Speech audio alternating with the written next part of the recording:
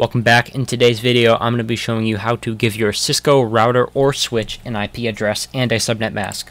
So first, we're just going to be getting a 2960 switch and a PC or another end device.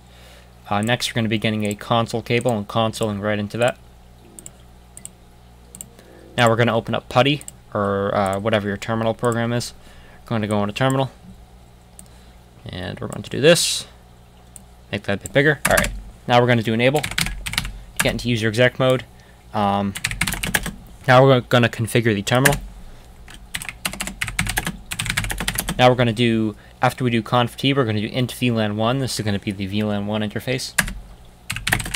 Now we're going to do IP address. Um, that's the do IP space address. Now we're going to set our IP address. This is not the default gateway, so make sure that the last one is not a 1, that the last octet is not a 1.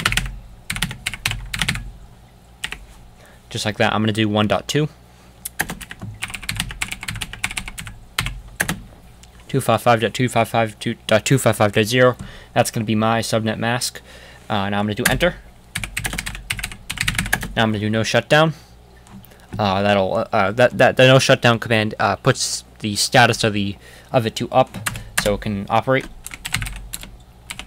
And as always, um,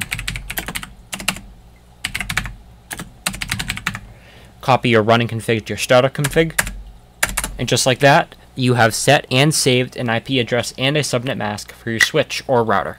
Uh, thank you for watching.